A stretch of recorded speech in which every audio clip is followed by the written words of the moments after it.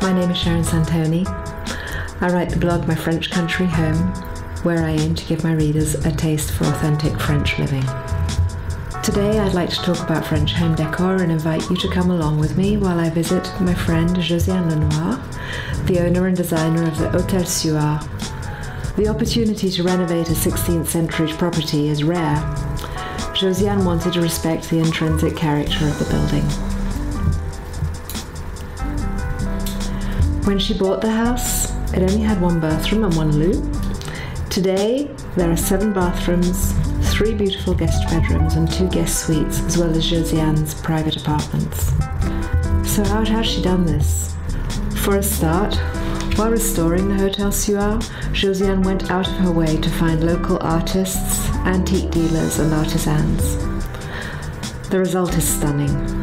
It feels luxurious, but it's never intimidating. Let's examine some of the details and work out how she's put this look together. First of all, the colours.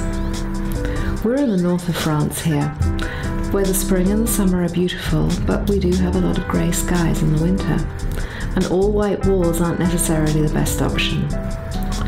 Josiane chose to go with a traditionally French grey colour on the walls, setting off her furniture and art collections. The doors are original to the building, but when Josiane bought the property, they didn't look the way they do today. She stripped down 12 coats of paint to reveal the beautifully aged wood beneath. Josiane has carefully picked sofas to provide modern seating alongside her antique chairs. And in the dining room, there is a long table with carved detail and a lovely patina. It isn't old, but it fits perfectly into her colour palette and style.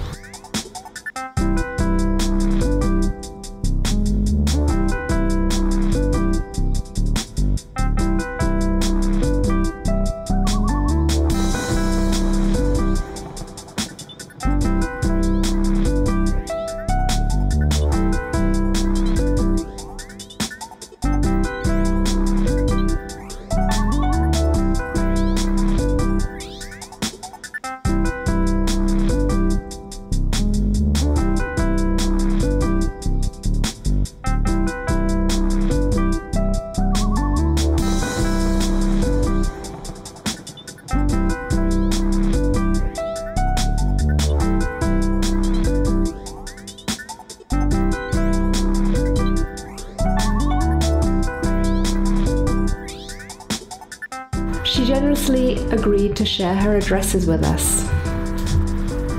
Bellême may be a tiny town, but it has a dozen high end antique dealers. I always think you recognize a good antique dealer when he or she has a real style to call their own. Claude and Alain Fassier are a fantastic example of that. As you walk through their door, you are immediately aware of having stepped into a universe where the owners have built a collection of the unusual and the extraordinary. I love meeting people who work with a passion. Their enthusiasm is contagious, and I'm immediately drawn to their curated collections.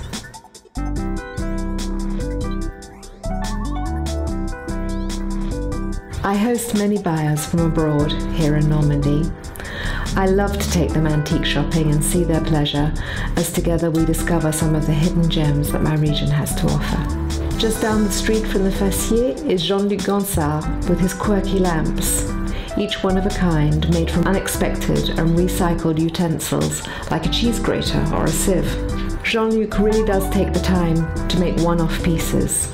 He doesn't have an internet site, he doesn't sell online. He's more interested in the experience of meeting his clients. And as soon as you walk through the door, you feel welcome and comfortable.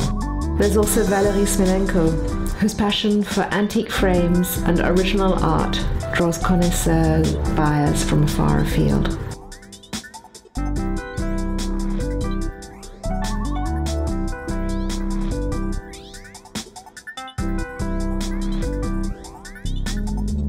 I hope you've enjoyed this home visit.